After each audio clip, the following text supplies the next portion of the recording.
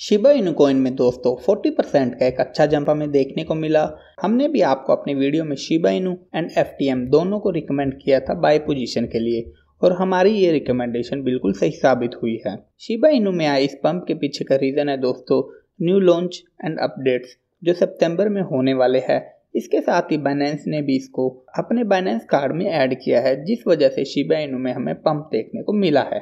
इसके साथ ही Shiba Inu की रैंक में भी जंप आया है। अभी इसकी रैंक है twelfth next target support level and resistance level Shiba Inu के लिए क्या हो सकते हैं? इसी के बारे में आज की वीडियो में हम बात करेंगे.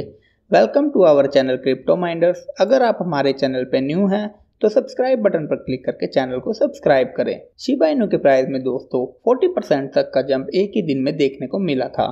और अभी शिबा इनु का प्राइस चल रहा है zero point double zero double zero one five four के अराउंड शिबा इनु में आए पंप की वजह से शिबा इनु इन्वेस्टर्स को थोड़ी राहत मिली होगी, क्योंकि शिबा इनु के प्राइस में ऑल टाइम हाई से 90 परसेंट तक का करेक्शन आ चुका था, जिसके बाद अब हमें इसमें थोड़ी रिकवरी देखने को मिली है।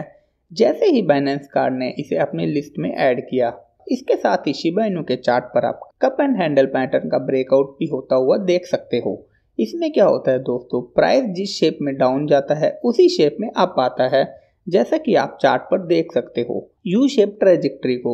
इसके कंप्लीट होने के बाद इसमें थोड़ा साइडवेज मूव बनता है और करेक्शन होता है, जिसके बाद प्राइस फिर से अपने रेजिस्टेंस लेवल को ब्रेक करता है। कल के दिन शिबा इनु ने अपने रेजिस्टेंस लेवल को ब्रेक किया है। अब जानते हैं अपने रेजिस्टेंस को ब्रेक करने के बाद शिबा इनू का नेक्स्ट टारगेट क्या होगा। अगर टेक्निकल एनालिसिस को देखें तो दोस्तों जो ये रिकवरी हमने देखी है यू शेप की लोवेस्ट पॉइंट से रेजिस्टेंस लेवल तक, उसी प्राइस रेंज को हमें टारगेट सेट करना होता है, जो बनता है zero point double zero double zero two two five के अराउंड बट अभी हमें बिटकॉइन के प्राइस में करेक्शन देखने को मिली है, जिसका इम्पैक्ट ओल्ड कॉइन पर भी दिखता है, जिस वजह से शिबा इनू के प्राइस में भी गिरावट आ रही है. इसके साथ ही शिबा इनू का जो बर्निंग पोर्टल है शिबा बर्न उसमें भी शिबा इनू के पंप के साथ इसके बर्निंग रेट में भी जंप आया है 800 परसेंट का.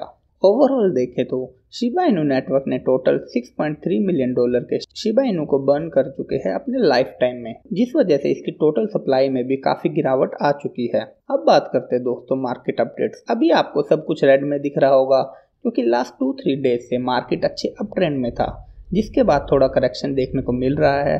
25,000 के रेजिस्टेंस लेवल को बिटकॉइन ने ब्रेक भी किया था मॉर्निंग में बट बिटकॉइन इसके ऊपर होल्ड नहीं कर पा रहा है। जिस वजह से तेज गिरावट बिटकॉइन के प्राइस में आपको देखने को मिली है।